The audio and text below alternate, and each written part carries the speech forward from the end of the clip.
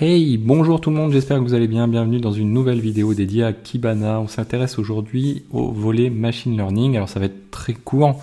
Euh, grosso modo, donc euh, Elastic propose deux niveaux. Hein. On a toujours le fameux pack X qui est la version payante, et puis le pack standard qu'on est en train d'utiliser et qu'on découvre. Euh, machine learning, qui se situe ici à gauche, voilà cette partie-ci, euh, est plutôt exploitable et est mis plutôt euh, en avant pour, euh, pour le pack X, ce qui se comprend derrière. et donc son utilisation, vous allez le voir à travers le data visualizer que l'on a par défaut sur le pack, le pack standard, permet pas de faire grand-chose. Il permet principalement d'avoir accès à des datas donc simplifiées. Donc ça, par contre, les datas, ça vous simplifie grandement le travail si vous voulez avoir une vision, quoi, une, une, euh, comment, un ordre d'idée général de vos données, la distribution de vos données, etc. Donc ça, c'est très très bien fait, mais c'est plus de l'ordre de la statistique que du machine learning en lui-même. Je pense que le XPack permet plutôt de travailler le côté machine learning. Alors, il y a un aspect machine learning, c'est-à-dire qu'en fait, euh, le, le, comment, le, le rendu qui vous est fait pour euh, vous donner une idée de la distribution de vos données est fait, je pense, à partir d'outils un petit peu de machine learning, mais on n'est pas sur des réseaux de neurones, ce genre de choses-là. Euh, donc euh, nous, on va partir non pas d'un port de données, non pas, voilà, on va pas partir sur la partie trial, euh, et on va sélectionner un index. On va partir toujours sur nos logs euh, sample data log ici. Donc je clique dessus et là vous voyez que tout commence déjà à se calculer tout seul. donc nous on va se mettre sur une échelle de temps un peu plus importante. On va se mettre sur pouf, pouf, month par exemple que euh, peut-être un peu plus. Euh, allez, sûr. Hop, voilà. Alors là, on a une représentation de nos données. Alors, on va mettre. Voilà, une représentation de nos données au cours du mois. Euh, donc du dernier mois écoulé. Hein.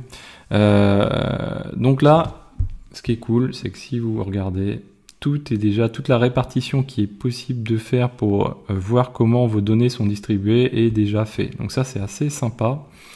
Euh, donc si vous prenez ici le premier par exemple, on a euh, les documents par jour, le nombre de documents par jour tout simplement. Déjà, on a un rendu direct, pas besoin de passer par une requête, faire son petit graphique ou son truc. On a déjà l'élément qui est déjà calculé. Ensuite, bah, par exemple ici au niveau des bytes, on a la distribution euh, des valeurs. Donc euh, ça va de 0 à 10 000. Combien de valeurs sont à 0, combien sont à 10 000, etc. Donc là, on a une répartition de nos valeurs. On peut faire un top values. Donc du coup, on voit euh, tout de suite comment les, données sont réparties. Hein. On le voit assez nettement. derrière, qu'est-ce que l'on a encore? Bah, ça c'est valable du coup pour chaque élément. Alors pour chaque élément, il nous dit voilà, il a travaillé sur combien d'éléments. Alors là, comme on est sur du sample data, on est limité. Alors on peut augmenter. Ah oui, on est sur du sample data, on peut faire varier euh, le, nombre de shards, euh, quoi, le nombre de samples, pardon. Du coup, là, on est sur 7173 documents, vous voyez. Euh, et le nombre de valeurs distinctes pour ces 7173 documents. Donc le nombre de valeurs distinctes, hein. c'est pas le nombre de valeurs, c'est le nombre de valeurs distinctes qui, qui, change. On en a 4994. Donc voilà, ça peut vous donner un ordre d'idée des variations que l'on a. Sur la RAM, voilà, on a un ordre d'idée de la RAM.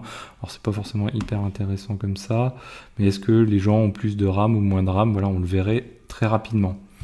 Euh, qu'est-ce qu'il y a d'autre? PHP Memory, on s'en fiche. Donc sur les champs, donc là côté plutôt, donc là on est sur la partie, euh, comment on va dire, euh, technique, et là sur la partie plutôt métier, hein, donc de nos champs qu'on a injectés. bah par exemple ici on a les hosts, d'où sont, sont provenus nos requêtes. Donc voilà, parce que au niveau de nos lignes de log, on a le host, puisqu'on est sur une sorte de, de requête, quoi, de log engines par exemple. Ben, on sait euh, d'où euh, sont venus les gens. Donc là, on a l'information. On a... Euh, qu'est-ce qu'il y a d'autre encore? Les IP. Donc là, vous voyez le top value des IP. Donc on sait qu'on a 1,5% qui viennent de là, etc. Donc la distribution des, valeurs, toujours, très importante. Donc on sait qu'on a 9999 IP qui sont venus. Et au total, on a 7173 visites. Voilà ce que ça veut dire par exemple. Euh, les OS, donc on a nos OS ici, donc la répartition des valeurs euh, OS, quoi la répartition, le nombre de valeurs OS. Alors on peut pas retoucher les choses, hein. c'est là où le pack X doit être sûrement sympa parce que du coup là on pourrait peut-être affiner les choses et dire tiens non mais moi je veux un top plutôt qu'un affichage de ce, cette manière là. Euh, les réponses, donc on sait qu'on a du 200, du 503, etc. les requests qui sont passés, donc les passes qui sont passés. On les retrouve ici très rapidement. On sait qu'on a 4,8% qui sont venus sur slash APM par exemple. Euh, les référeurs, d'où est-ce qu'ils sont venus euh, Qu'est-ce qu'on a d'autre? Les tags. Donc c'est là où on peut avoir un ordre de représentation aussi assez rapide avec l'utilisation des tags par rapport à tout ce qu'on a vu précédemment. Euh, et puis voilà en fait. Hein. ouais, ça après tout. Euh, ensuite, donc, on a la possibilité de toujours affiner ici. Alors, si je mets response, de points, on va mettre euh, sur les 503 par exemple, comme ceci. Euh, je pense qu'il va falloir cliquer sur refresh. Voilà, donc là on doit avoir une représentation des. Alors pas sur cette partie-ci, sur cette partie-ci j'imagine. On doit avoir uniquement un filtre sur nos 503. non, même pas. Donc en fait, euh, il a rien filtré du tout. Ok, ah si, voilà, il fallait taper sur entrée par refresh. Ok, donc là on trouve, du coup, on a filtré sur nos 503 et on a du coup une distribution de nos valeurs en fonction des 503. Donc on sait que les 503, du coup, est-ce que c'est plus ou moins tel OS euh, Est-ce que euh, viennent de plus ou moins tel pass Là on a la localisation, géographique aussi, donc via nos, nos champs. Du coup on peut en déduire aussi pas mal de choses. Euh, voilà, on sait que les navigateurs, voilà, là c'est du, du Mozilla, mais du vieux Mozilla par exemple, voilà. Euh, et la répartition, quand est-ce qu'on a eu des documents plutôt liés à ces 503. Euh, voilà. Qu'est-ce qu'on peut dire d'autre encore? Bien sûr, la recherche, on va pas rentrer dans le détail, mais quoi, on a déjà vu ça. On peut rajouter d'autres éléments de recherche derrière. Euh, voilà, la possibilité ici d'afficher ou non les valeurs vides. Euh, et puis voilà, c'est à peu près tout. On a le bouton Use Full Kibana Sample. Donc là, en fait, il va se mettre sur le plus large champ de données, donc du premier document au dernier document, euh, et il va afficher les éléments. quoi. Euh, voilà, on a fait le tour de, machine learning. C'est assez bref parce que finalement on n'a pas trop la main dessus.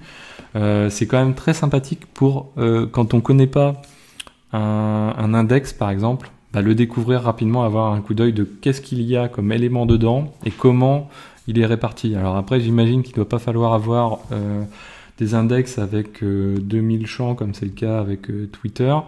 Euh, parce que sinon, quand on sort la page, je pense que ça doit mouliner quand même euh, un petit peu de temps si on n'a pas beaucoup de RAM. Mais euh, ça permet très rapidement d'avoir un coup d'œil sur vos données et je pense que ça, c'est très très sympathique. Voilà, donc j'espère que cette vidéo vous a plu. N'hésitez pas à la partager, à mettre des pouces bleus, à commenter et à vous abonner. Je vous dis à très bientôt sur Xavki.